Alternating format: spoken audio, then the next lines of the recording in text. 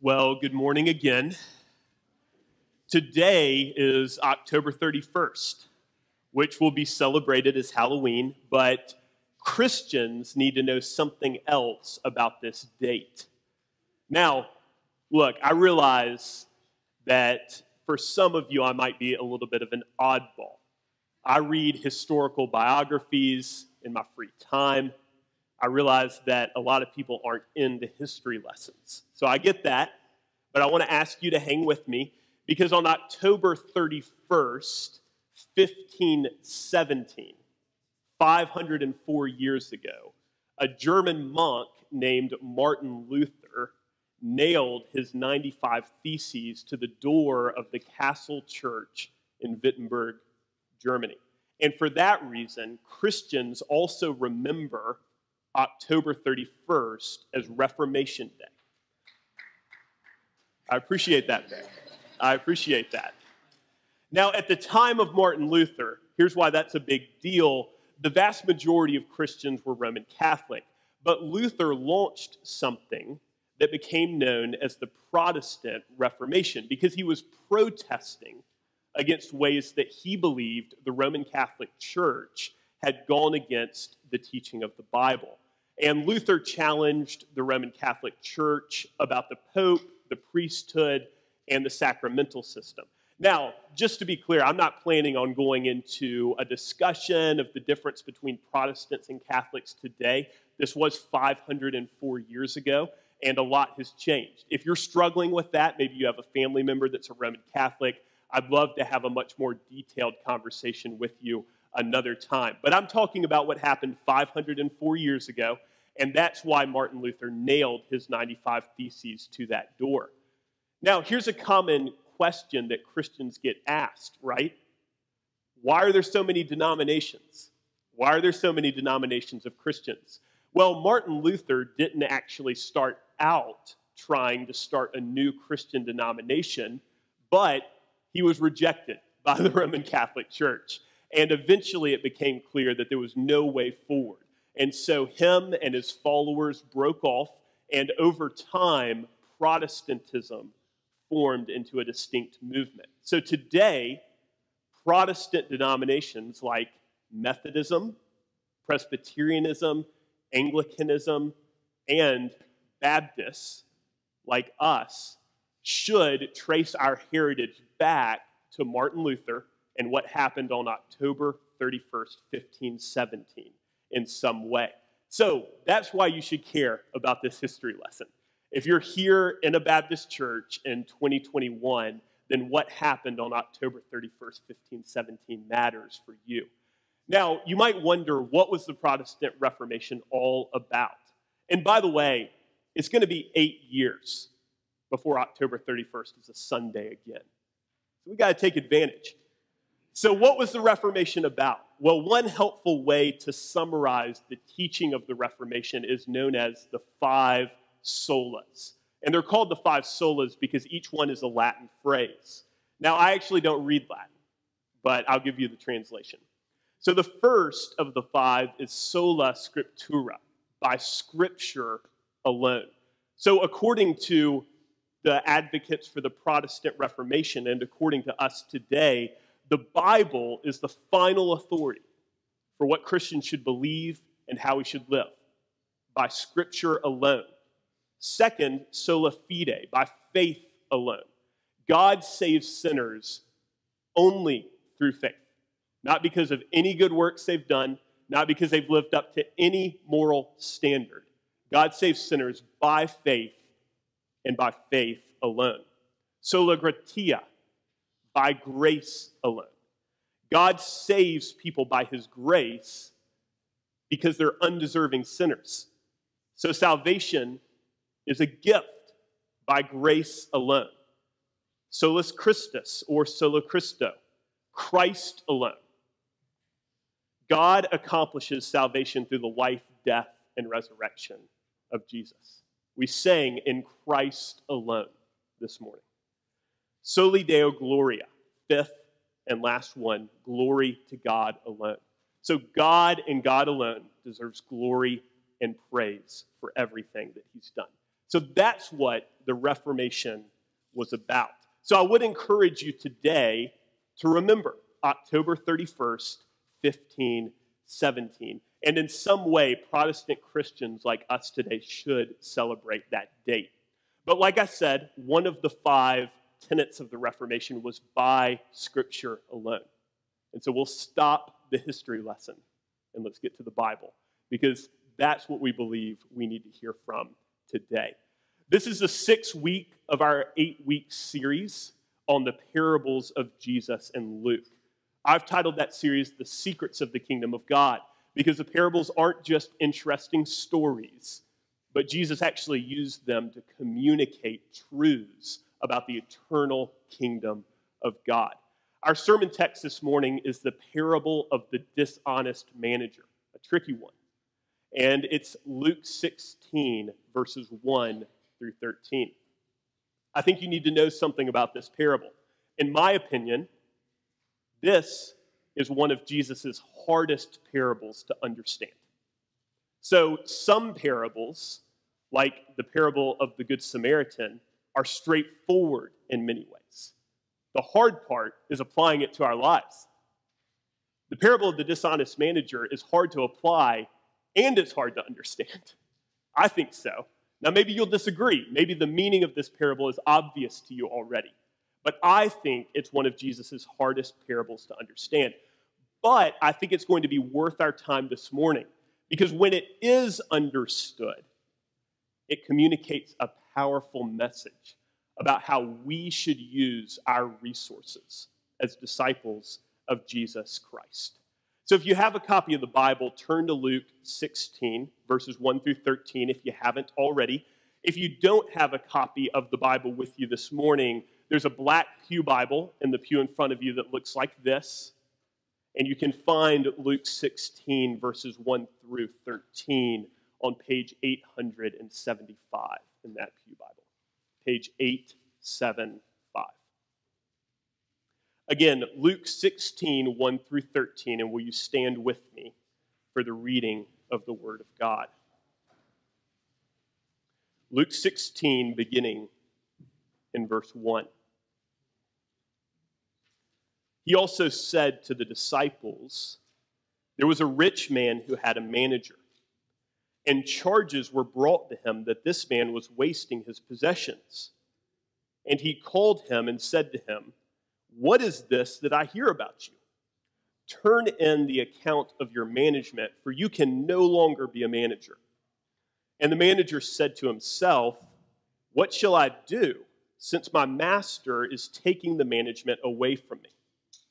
I am not strong enough to dig, and I am ashamed to beg.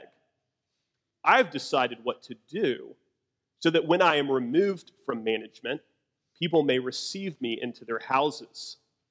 So, summoning his master's debtors one by one, he said to the first, How much do you owe my master? He said, A hundred measures of oil. He said to him, Take your bill and sit down quickly and write fifty. Then he said to another, How much do you owe? He said, A hundred measures of wheat. He said to him, Take your bill and write eighty. The master commended the dishonest manager for his shrewdness. For the sons of this world are more shrewd in dealing with their own generation than the sons of light.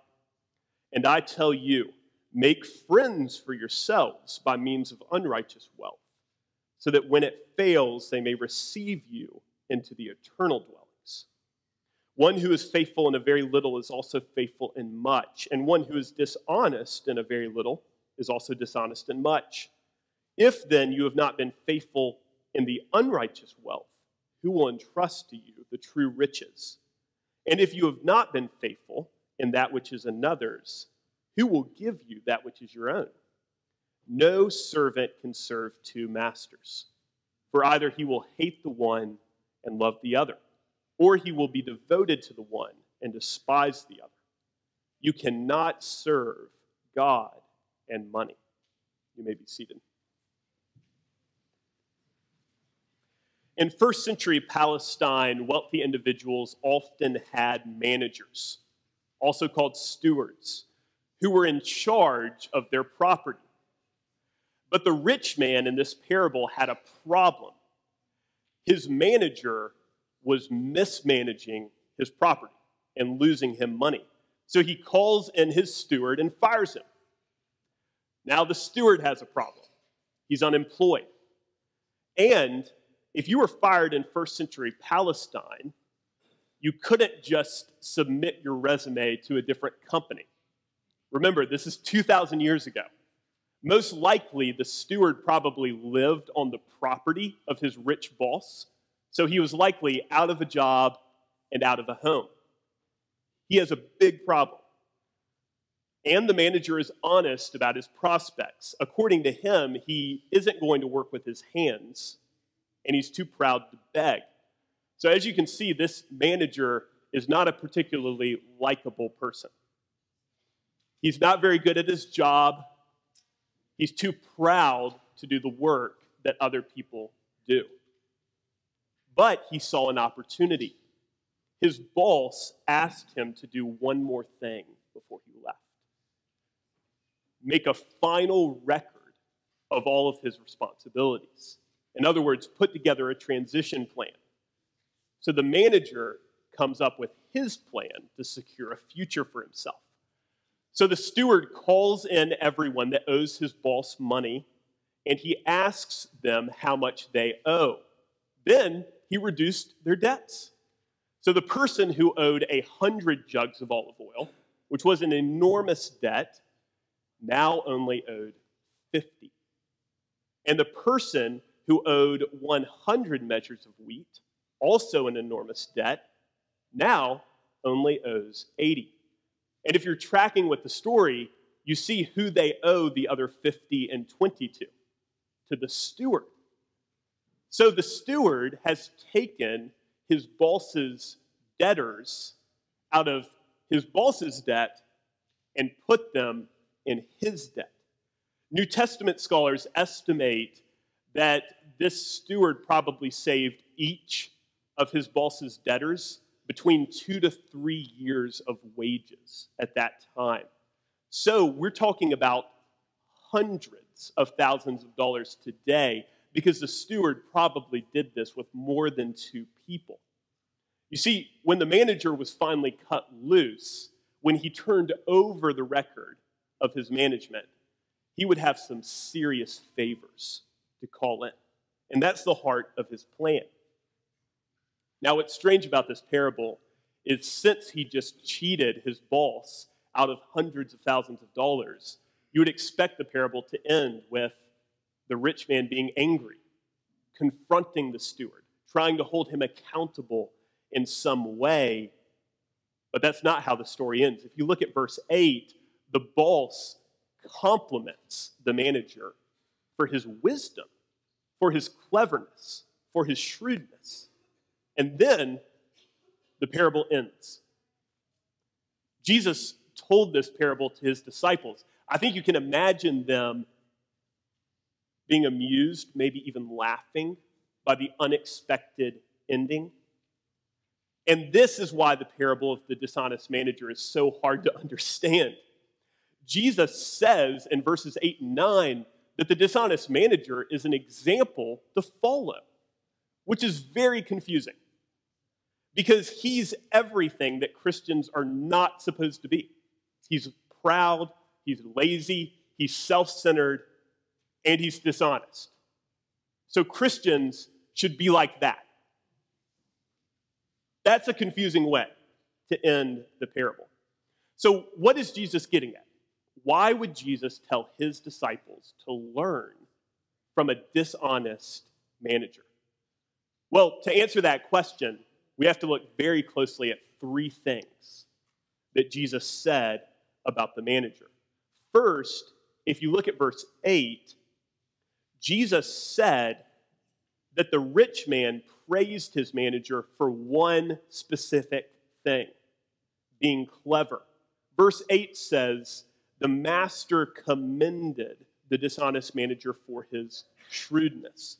So, Christians should imitate one very specific thing about the dishonest manager his strategic thinking, his cleverness. Michael Jordan showed incredible work ethic, determination, and competitive drive in his NBA career. He's a great role model. But in other ways, Michael Jordan wasn't so great of a role model. He was a gambler, he was unkind to his teammates, and he was proud. But those flaws don't change the fact that his competitiveness, his work ethic, his drive, those are things worthy of imitation. In a similar way, Jesus is pointing out one thing for Christians to imitate about the dishonest manager his cleverness. In other words, disciples of Jesus should imitate the cleverness of the manager, not his character. Imitate his cleverness, not his character. The second thing that we need to pay attention to is also in verse 8. Because Jesus said that non Christians sometimes act with more skill in their business dealings than Christians do in their affairs. Verse 8 says, For the sons of this world are more shrewd in dealing with their own generation than the sons of light. You see, people who are worldly realize how powerful their resources are, and they leverage them to accomplish their goals. I know you've heard the stories of the entrepreneurs who come up with incredibly visionary plans, and they make sacrifices, and they work, and they work, and they work to accomplish their goals. Steve Jobs, Jeff Bezos, and many, many others.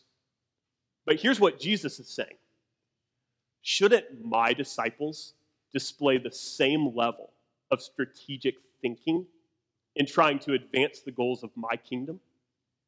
That's what Jesus is saying. Shouldn't my disciples display the same ingenuity, the same work ethic, the same determination in advancing my goals as people do in their business dealings out in the world? Here's the third thing we need to see. In verse 9, Jesus says that we should use our wealth and resources in this life to secure a future for ourselves in eternity. Verse 9 says, And I tell you, make friends for yourselves by means of unrighteous wealth, so that when it fails, they may receive you into the eternal dwellings. Dave Ramsey the personal finance guru, is famous for saying, if you will live like no one else, later you can live like no one else. In other words, the best thing that you can do for yourself financially is make some sacrifices in the short term so that you can benefit from those sacrifices in the long term. Jesus is applying that type of financial advice to the kingdom of God the steward in the parable realized that the best thing he could do with the temporary resources he had access to, in the parable, he only had access to his boss's money for maybe a few more hours, maybe a few more days. The best thing he could do was take those temporary resources and secure a permanent future for himself. So he used someone else's money to make his friends. Jesus is saying, by analogy, you should follow that example and use the resources that you have in your life, the temporary resources, for a greater purpose. In other words, Jesus is saying, use some sanctified common sense. Use your common sense. Your resources, they're not going to last. So use them for something that will last. That's what Jesus is saying. So to sum it all up, Jesus is saying that we should follow the example of the dishonest steward by following his cleverness, not his character, and leveraging our resources for eternal purposes. You know, Christians have something in common with the manager. We're stewards, we're managers, because everything that we have doesn't finally belong to us. All the resources we have are ultimately God's. If we have money, it's His, not ours. it's His. If we have gifts, they're His. They're not ours, they're His. If we have time and energy, it's His. It's not ours. So, since we're managers, we have to be asking the question how does God want us to use His resources? How does God want us to use His resources? So, as you can see, the, the parable of the dishonest manager doesn't have a lot to teach you about integrity, but it has a lot to teach you about the decisions we make every day. How do we leverage our temporary resources for the purposes of God? Now, after he tells the parable, Jesus gives three ways that Christians should act with their resources. And that's what I want to spend the rest of our time talking about. And here are the three ways Christians should be clever, Christians should be faithful, and Christians should be devoted with their resources. So Christians should be clever, faithful, and devoted with their resources. So, first, clever. Here's a question for each of us to answer in light of this parable What resources has God given to us, and how can we use them for eternal purposes? So, answer that question for yourself. Has God given you money? Has God given you intellectual, musical, or athletic gifts? Has God given you time? Has God given you friendships and connections? Has God given you specific training and skills? Has God given you the benefit of life experience? What resources has God given to you, and how can you leverage them for eternal purposes? When you answer that question, be clever, like the manager. Be strategic. Use your resources to accomplish the goals of the kingdom of God. To do this, you might have to come up with a plan. If you're married, you might have to sit down with your spouse. If you're single, you might have to talk to a trusted friend. Didn't the steward come up with a plan?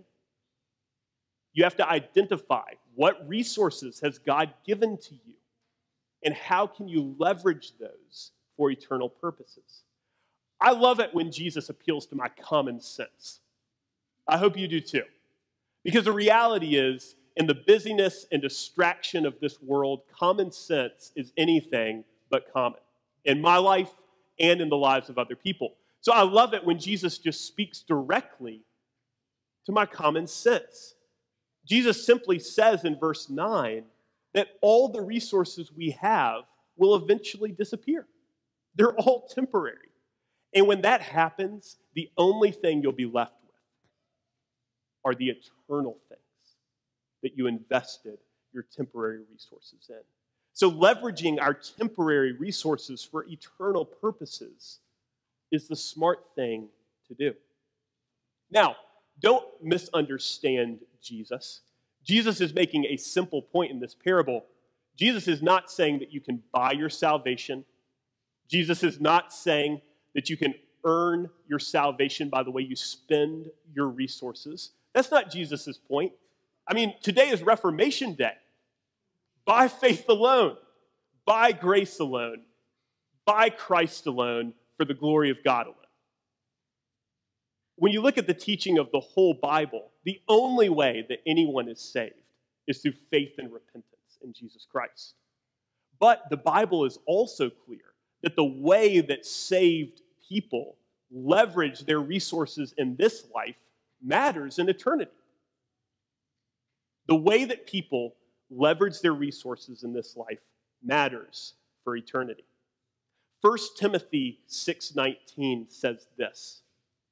As for the rich in this present age, charge them not to be haughty, nor to set their hopes on the uncertainty of riches, but on God who richly provides us with everything to enjoy.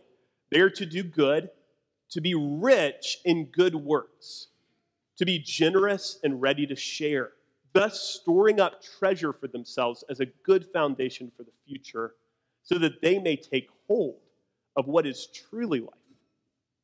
So, brothers and sisters, Jesus wants us to be strategic with what he's given us and to use it for eternal purposes. You know, if you're not a Christian and you're listening to this, the parable of the dishonest manager should challenge you to think long term. According to our culture, you should chase what makes you happy now. According to our culture, you should live for your goals, your dreams, your future. And what really matters is what you can touch. What really matters is what you can taste. What really matters is what you can see today. But 1 John 2 17 says, The world is passing away along with its desires. But whoever does the will of God abides forever. So if you're not a Christian, the clear message of this parable for you is start thinking about eternity. Start thinking about eternity. True life is more than you can taste right now. True life is more than you can see, more than you can feel in the here and now. So start thinking about eternity. C.T. Studd famously said, Only one life. Twill soon be past. Only what's done for Christ will last. So, the first thing that Jesus teaches us about stewarding his resources is that we must be clever. And the second is that we must be faithful. People love to ask questions like, What would you do if you had $20 million? What would you do if you had $20 million? Well, according to Jesus, you do the same thing as if you had $20. According to Jesus, you would do the same thing with $20 million that you would do with $20. Because when someone's bank account changes, it doesn't change their character. No matter how much money you have, the important question is character. Verse 10 of our passage says, One who is faithful in a very little is also faithful in much, and one who is dishonest in a very little is also dishonest in much. By the way, this is why we have to read the Bible in context. So if you take the parable of the dishonest manager and then you go and cheat your boss out of thousands of dollars, and then justify it off of that parable, I don't think you read verse 10. Okay? We have to read the Bible in context. Jesus says that whether you are faithful or not doesn't depend on how much you have, it depends on who you are. So, regardless of your financial situation, Jesus' words matter for you because he makes it clear that the most important question isn't how much money you have, and it isn't how much you have of any other resource. It's whether or not you're faithful with what you do have. So, kids, this morning, if your parents have given you some money, you're responsible to Jesus for how you steward it, whether it's a big amount, whether it's a little amount. And adults, whether you have a lot or a little, the question is faithfulness. And of course, this doesn't just apply to money, it applies to any of the resources that God has given us. Every Christian has different amounts of free time. Every Christian has different gifts from the Lord. Every Christian has a different personality. Every Christian has different opportunities and comes from a different background. But every Christian is called to the same standard faithfulness, being faithful with what they have. So, if you look around and feel like God has entrusted you with less than He's given to other people, it's important to remember that we're all called to the same standard faithfulness. And if you look around and feel like God has entrusted you with more than He has other people, it's important to remember we're all called to the same standard faithfulness. By God's grace, we have a couple men here at First Southern who are exploring a call to vocational ministry. And among other things, I've shared Luke 16, verse 10 with them. Why? Because if you're exploring a call to ministry, the best thing that you can do is to be faithful with the, with the opportunities that God has given you now. Why would anyone want you to serve in vocational ministry if you're bad at volunteer ministry? So, this applies to every area of our life.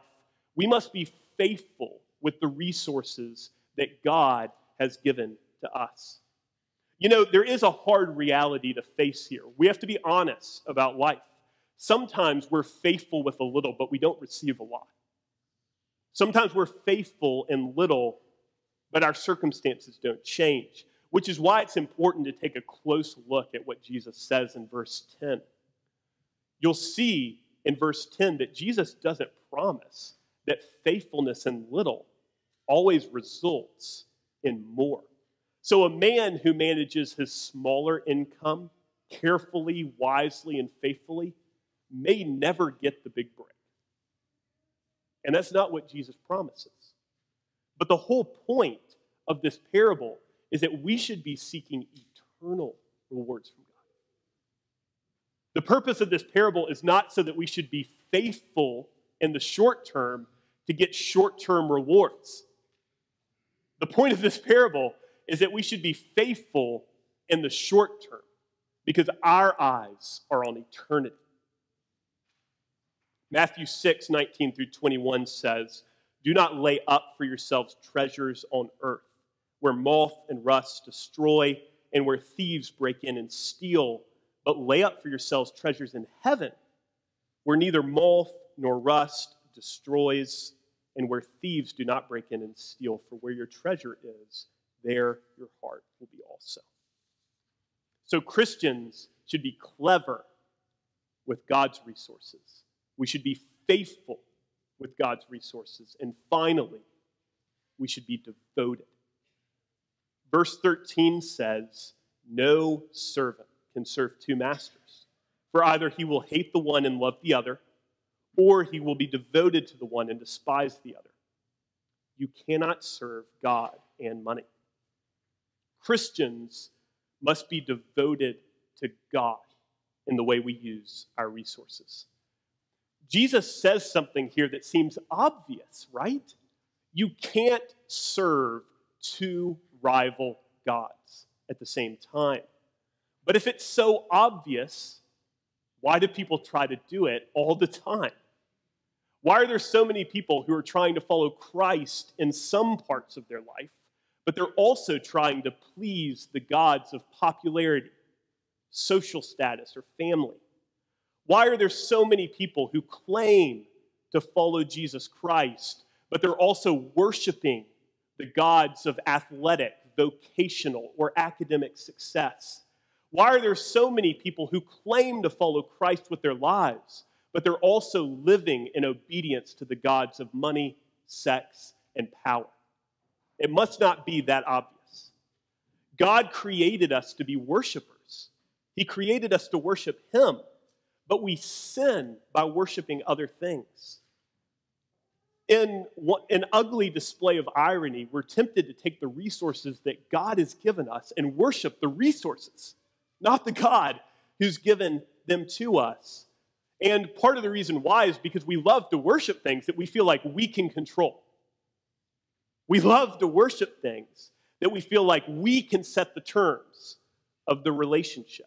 We love to worship things that we feel like we can own and things that give us satisfaction, we think, in the here and now. Now, obviously, the irony is that when we start to worship those things because we think that we can control them, they start to control us. And they become the God of our life. In Matthew 22 37, Jesus said that the greatest commandment was you shall love the Lord your God with all your heart and with all your soul and with all your mind.